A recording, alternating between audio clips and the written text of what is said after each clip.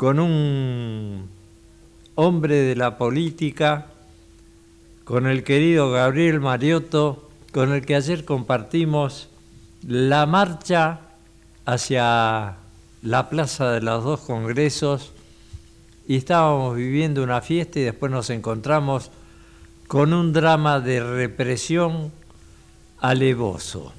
Gabriel Diego Carbones, ¿cómo estás? Te, saludo. Conmigo aquí a mi lado está Andrea Piciani. Hola compañero, ¿cómo está Gabriel? Habla Andrea Piciani. Andrea, buenas tardes, Diego querido. No sé si anda Julio Ricardo también. Julito está en la casa porque se está recuperando, que lo tuvimos internado un tiempo larguito, pero ya está mejor y si Dios quiere, la semana que viene estará acá con nosotros en el estudio. Qué bueno que ojalá nos esté escuchando y le mandamos un fuerte abrazo con toda la admiración, ¿no? Gran amigo y compañero, Julio. La voz y el hombre de fútbol para todo, que tanto recuerdo, que tanto quiero. Y que queremos volver a comer asado como hacíamos en aquel, aquel entonces, conversando de Perón y, de, y del fútbol. Y ayer con vos, Diego, qué lindo, es como vos lo contaste. Fuimos a encontrarnos en la calle con, con hombres y mujeres de del campo nacional y popular, del pueblo argentino, sectores gremiales, sectores este, sociales, los jubilados, las jubiladas, jóvenes que también participaron en el reclamo, este, toda esa fiesta que te da siempre la multitud, el tumulto, la calle, y, y ya se advertían esas, esos aspectos represivos que al que nos tiene acostumbrado la, esta ultraderecha ultramontana, eh, que no solo está eh, para intimidar, sino para amenazar con su presencia así tan tan dura. Vos fijate que eh, nosotros estuvimos en la esquina de Rodríguez Peña con, con vos, Diego, con Martín García, con Horacio del Prado, estaba Víctor de Genala, con quien conversamos un tiempo. Que hacía tiempo que no lo veía, un montón que hacía que no lo veía. Y conversamos tan lindo en esa esquina, de, de, reflexionando, opinando, escuchándonos. Este, fue tan lindo ese encuentro, tan emotivo, con, con compañeros, compañeras que pasaban y que conversábamos todos y pero claro, después nos alejamos un poquito y nos vamos para el otro lado del Congreso, o sea, nosotros estábamos mirando el Congreso de frente hacia la derecha, sobre Rivadavia, cuando pasamos para el lado de Hipólito Yrigoyen, eh, había una un ejército de invasión cortando la calle Callao, eh, en ese momento, bueno, en ese lado es Entre Ríos, a la altura de Alcina, para que no pase la columna de camioneros, por ejemplo.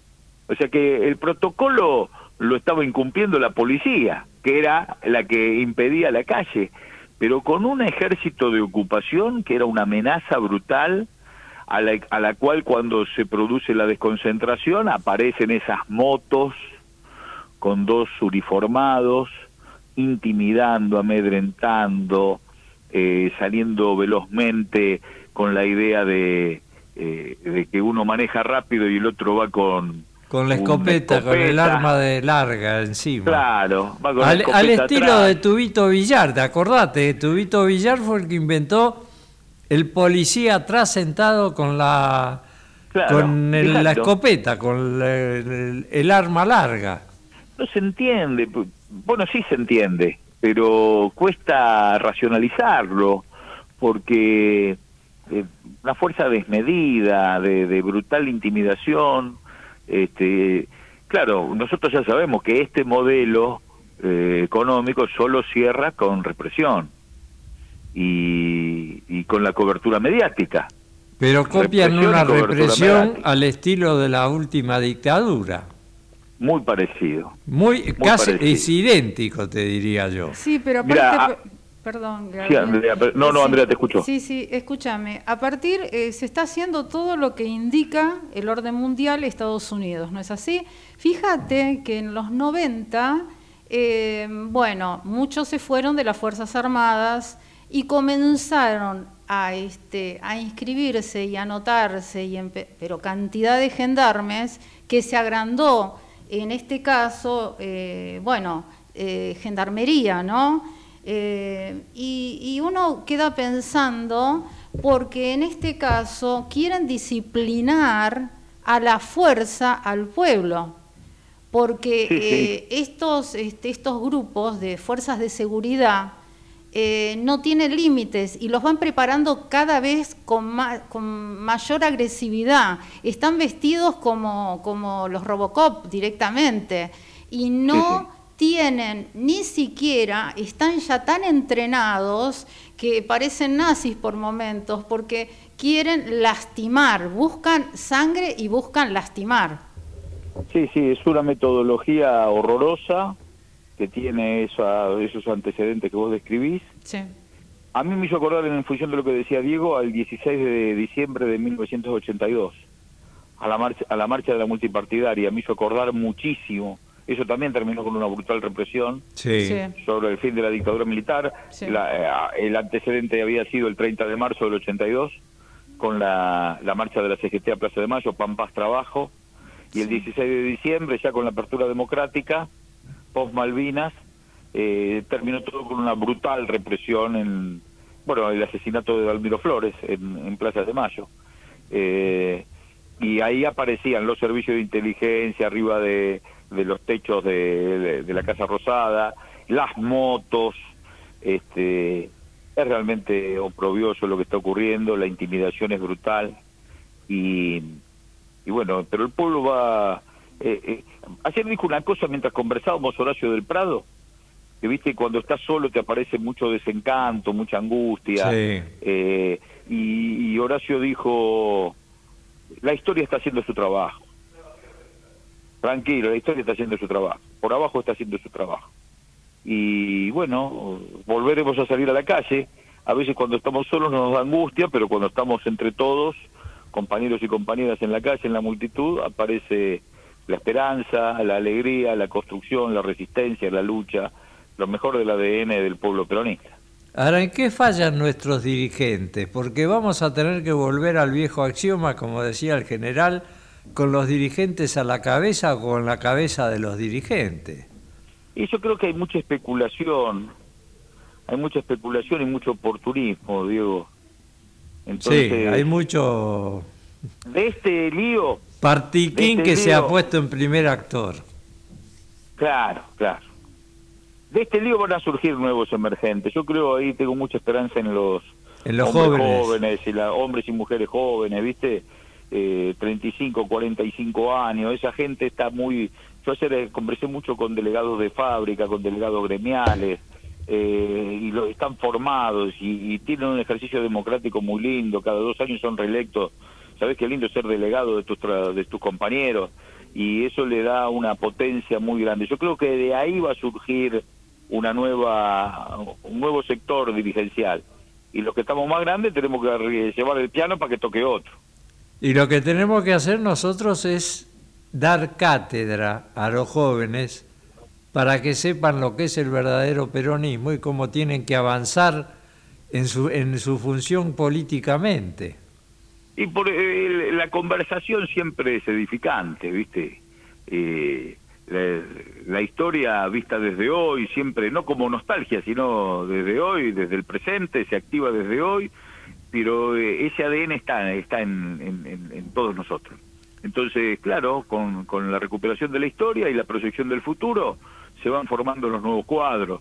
Y yo creo que es muy importante que aparezcan nuevos cuadros y van a aparecer y está lleno. Parece que la televisión te muestra solo los jóvenes libertarios, ¿viste? Sí, son los únicos que existen, los nuestros no existen. los nuestros están invisibilizados, pero están. Sí, pero... Y ayer los vimos. Sí, había muchos ayer. Pero el este, trasvasamiento generacional, como decía el general, es muy importante. Es muy importante con los chicos que se están formando. Porque si llegamos a esto, a elegir a esta persona, que yo no sé si es persona, eh, bueno, faltaba muchísima información y aprender historia. Los chicos no sabían lo que sucedía, lo que iba a acontecer. Se pensaban que era todo verdad. No se votó a favor de, se votó en contra de, que es distinto. Claro. Sí, falló un poco, a mi juicio, una de las tantas, de las múltiples causas que nos llevaron a esta tragedia, es que falló la realidad efectiva. Eh, Viste que cuando el 55, la resistencia peronista, y justo me animo a hablar de resistencia peronista, eh, hablando con vos, Diego, es una falta de respeto, pero... No, por favor, al contrario, hay que hablar de eso. De la resistencia, pero cuando Perón dice, no es que nosotros somos buenos, eh, somos buenos, sino que el resto fue malo, y claro, había una memoria de lo que fue eh, el 45 al 55 de ese gobierno, había una memoria, incluso en el 73 esa memoria estaba presente, sí. porque y, hoy creo que ayudando a la llegada de, de este modelo, o de este, sí, de, este modelo, de esta nueva era que quiere fundar mi ley de, de descarte, desaprensión y deshumanización, eh, ayudó mucho los muy malos cuatro años del gobierno de Alberto y de Cristina, fueron muy malos. Digo Alberto y Cristina con todo lo que yo la quiero a Cristina, pero... Pero este, yo creo que Cristina se equivocó en ponerlo a Alberto porque creo que no lo conocía bien. Yo que lo tuve en muchos programas de televisión, lo tenía muy junado y sabía que era que no servía. Mira, cuando viene el tweet ese día 18 de mayo, creo que fue sábado a la mañana, llegó el tweet.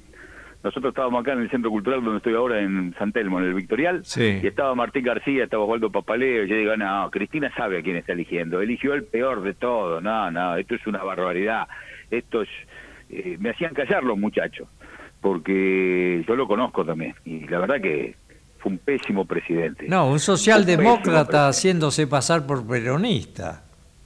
Y, validando la deuda externa de Macri. El día que votamos nosotros el pacto con el Fondo Monetario Internacional, pulverizamos nuestra base electoral.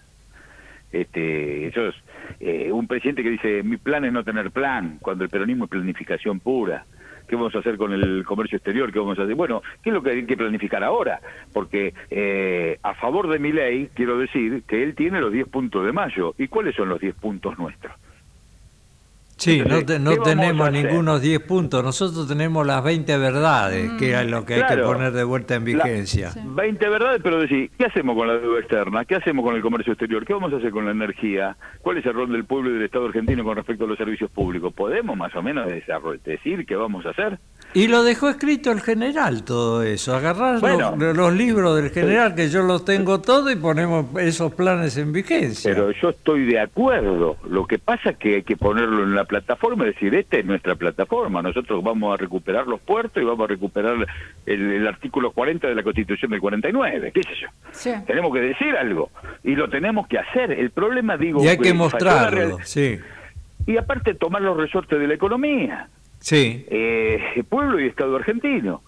Propiedad imprescriptible, inalienable de la nación, el subsuelo de la patria. Mira vos qué lindo legado tenemos, la puta. qué, qué, interesante. Y bueno, hay que, hay que hacerlo. Entonces, no nacionalizás el 51% de IPF si eso lo tenés claro. No, es que además eh, solamente hay que leer todo lo que nos dejó escrito el general. Y está el plan económico del general sirve hoy de nuevo. Por supuesto, porque la clave, más que nunca, y después del gobierno este de Milay va a ser todavía más expuesto, es patria o colonia. Exactamente. Estoy totalmente de acuerdo. que está vigente lo del general. Es así. Tomar los resortes de la economía para el pueblo y el Estado argentino. Eso es pero aparte, Ahora, nosotros teníamos unos gremialistas que eran verdaderos eh, oficiales del general, como Rucci, como... Eh, como Bandor.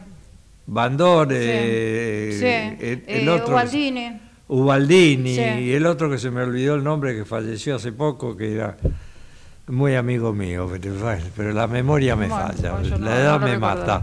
Este, que eran verdaderos eh, líderes en los gremios. Y ahora tenemos estos muchachos que no sé a qué juegan realmente.